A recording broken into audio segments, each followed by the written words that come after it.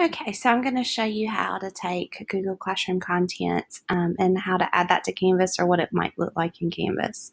Um, and there are multiple ways, but these are just some of the ways. So in your Google Classroom, you have the stream, and that can be um, basically similar to your modules um, page in Canvas um, except that it's a little bit more like your topics. Um, but it can include everything.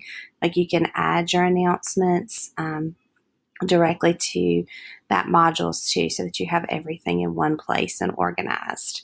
Um, but I started out by creating my classroom um, by creating an announcement, or I think it was adding uh, to share something with the class. And so I would say that would be the same as an announcement. And so I'm just going to copy that content, and in my course, I'm going to add that as an announcement.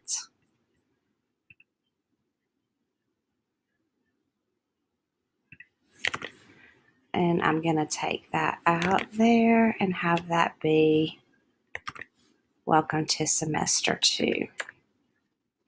Um, I have lots of choices about when I want that to post, if I want people to be able to comment back or like it, whatever. So now I have that as an announcement.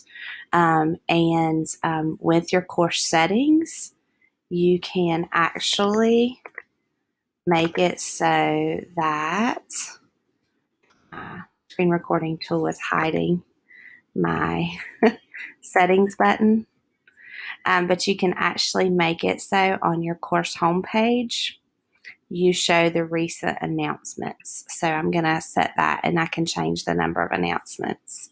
Um, so in my course homepage now, you're going to see my announcements um, at the top. Okay.